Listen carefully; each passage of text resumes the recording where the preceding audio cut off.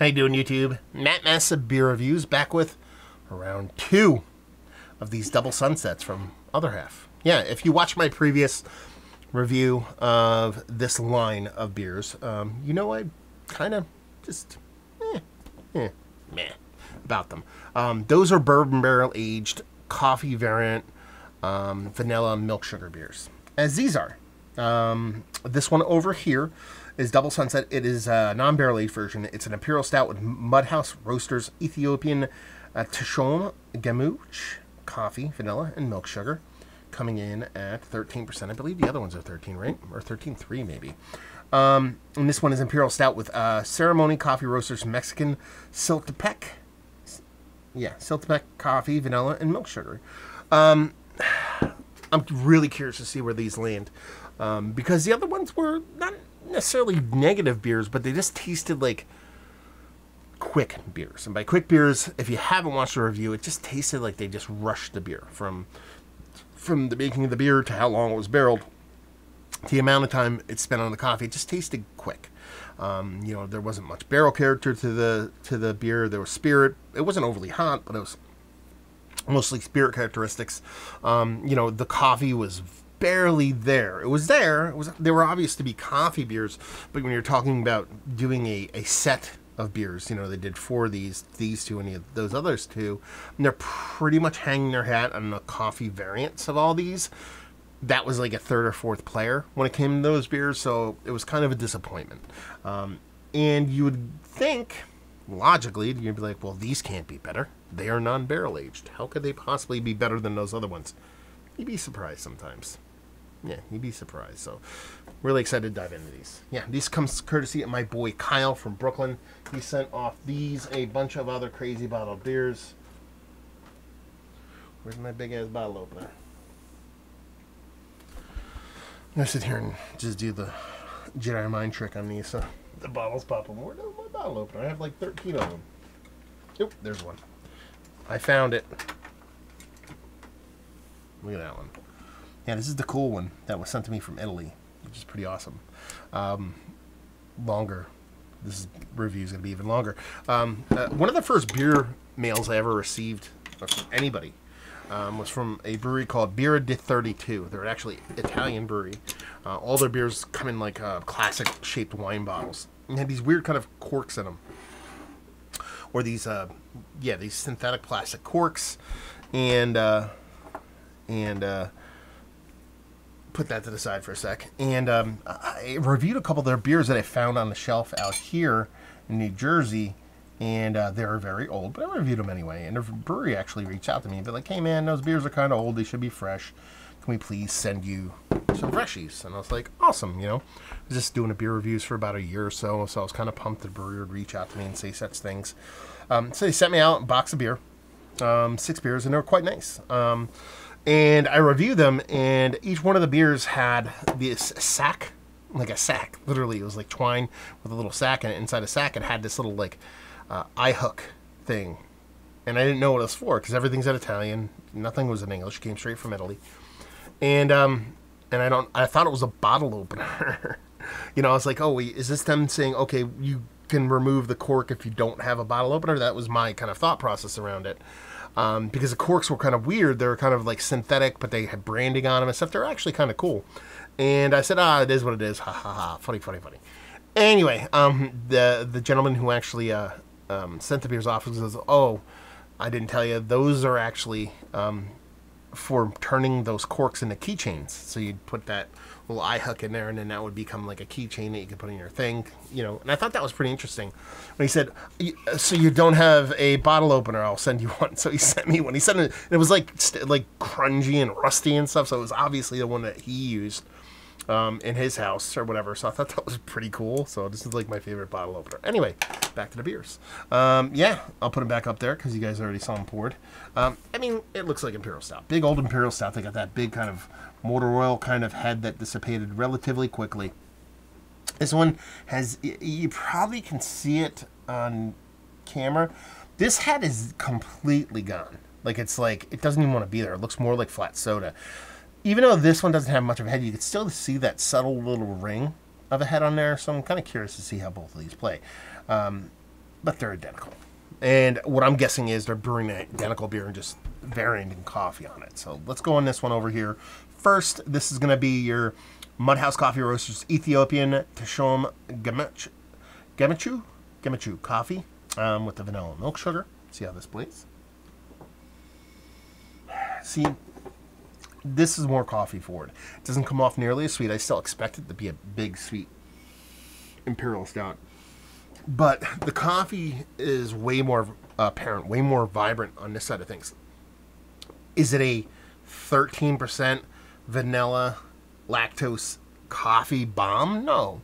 Um, if I, I would hope if I were to do these blind, I'd smell this and be like, oh, this is probably like an 8 to 10% stout with coffee. That's the kind of vibe I'm getting off it. But the big difference between this and those other ones, the coffee is the leader in the clubhouse here. Again, not overly aggressive, but it is the leader. So yeah, nice soft roastedness in the coffee. There's almost like um like a milk and two sugars kind of thing going on with this thing because of that lactose and vanilla. But it's quite nice. It smells like a little bit of a roasty toasty kind of coffee. Nothing too light. Not that you'd put a bit light coffee in something like this. Let's get on this one over here, which would be your Ceremony Coffee Roasters Mexican Siltepec coffee.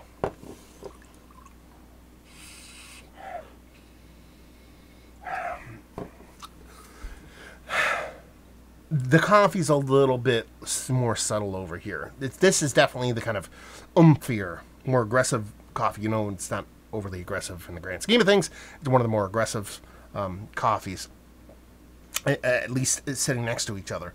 Um, it's like a little bit more kind of subtle over here, a bit more lighter roast. This one's a little bit more darker roast. But overall, light coffee, dark coffee, light aroma, medium roast coffee, light aroma, and then subtle kind of chocolate and vanilla and lactose kind of vibes going back and forth. So let's dive in this one. Cheers.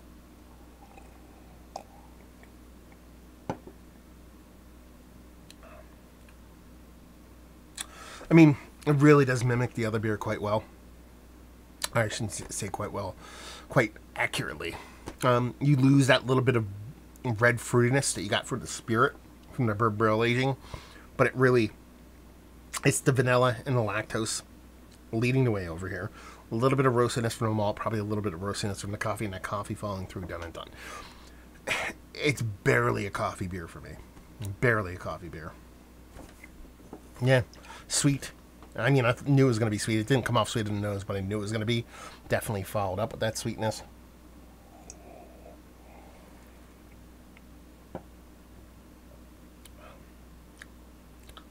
Yeah, I mean, again, just tastes like a quick beer. That's what they come off as. Try this one.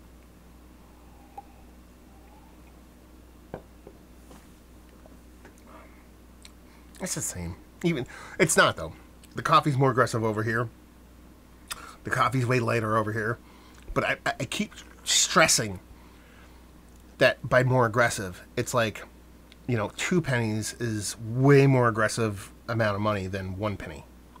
You know, I'm not saying like this is a hundred million dollars and this is, you know, nine hundred thousand dollars. That's the kind of that's the one thing I want to stress here. The coffee for the type of beer and for how aggressive coffee can be, even lighter beers. You're talking about five, six, seven percent beers. Coffee can come off. I don't want it to be like, you know, you can't even taste a beer here. That's not what I'm going for. But at least when you're you're focusing so intently on a coffee being marketed or a beer being marketed as hanging its hat on the coffee portion of the beers, it's almost criminal about how little expressiveness the coffee gives off in these beers if I'm missing something, if this is like a joke, and honestly, it's that little of coffee. Like the first two, I was like, okay, maybe they just, I don't know, the barrel, something kind of fucked up. But these are literally the same exact kind of beers in that they show a variance in coffee that is so subtle. It's again the difference between a couple pennies and a couple more pennies, not hundreds of thousands of millions of dollars versus billions of dollars. It's not like that. It's it's so light and it's so soft, and it really just comes off as like I don't know. If you had like if if you ate like uh, um if you ate coffee ice cream, basically, if you ate coffee ice cream and you were done eating it, but you still had like remnants of some chocolate syrup and vanilla ice cream and that little bit of coffee flavoring left over, and it melted into a pool, and you drank it. I, I don't even want to do say that because would chill more coffee than this. It's almost like you put in four scoops of uh, vanilla in one scoop of coffee ice cream, and you ate them. You know, I, I don't know how you eat ice cream, but I kind of skip around when I have different flavors and stuff like that. But then if you just had little bits of each one of those left behind, and you let them all meld together, that's what it would be like. Because it would be a diluted version of that coffee ice cream with that subtle little chocolate syrup kind of floating around in there to add this little kind of pop to it. Because there's obviously chocolate malt in here. There's a little bit of chocolatey vibes. The vanilla and lactose lead the day, but it's really it's criminal to call these beers coffee beers. It is. It is. I've had beers. Let's put it this way: Dan Suarez makes a mild beer, an English mild that has no coffee in it whatsoever, and it like punches you in the fucking face with a delicious amount of coffee.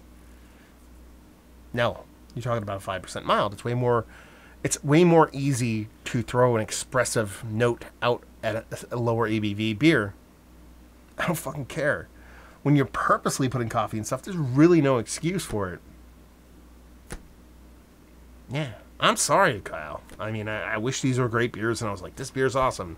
This is fantastic. I love coffee. Let's get more coffee because this is such the best coffee in the world. They're they taste like super quickly, super quickly brewed stouts that they tossed vanilla and lactose in and literally just randalled it over coffee beans. Not even like rested it on coffee or I don't know. I don't know. It's kind of poopy, man. It's kind of poopy because I know these weren't cheap. I think these were like 13 to 16 bucks a bottle. I think the other ones were close to 20. So he sent me two of each, or two, four bottles total. You do the fucking math. It's a lot of fucking money, man. And I didn't even spend it. But I'm fucking pissed. Yeah. This is not good.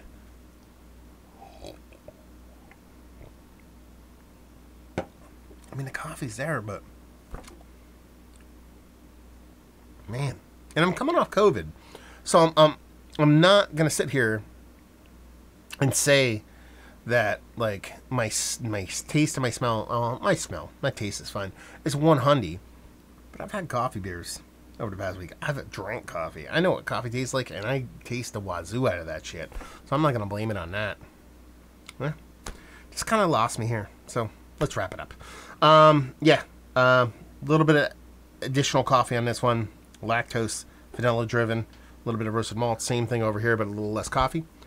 Are these some of the better coffee beers I've ever had, or even in the past couple months? No, um, just honestly, like I said, kind of the more I drink them, the more I get a little bit kind of upset and, and kind of frustrated. Um, let's see, value availability. Other half, go there, you can get them, and leave you with if you like what we like these beers. If you like pastry stouts and you want the ever so slightest dab, dab of coffee, yeah, you'll like these. So there you go. Hopefully, you guys enjoyed our review. Down there, if you want to talk about it, massive beers. If you want to check me out doing the social media stuff, beer massif. Want to check me out doing the whole podcasting thing, and hopefully, you guys enjoyed the review. Hopefully, enjoying a little bit of coffee beers right now. Hope to see you next time. Cheers.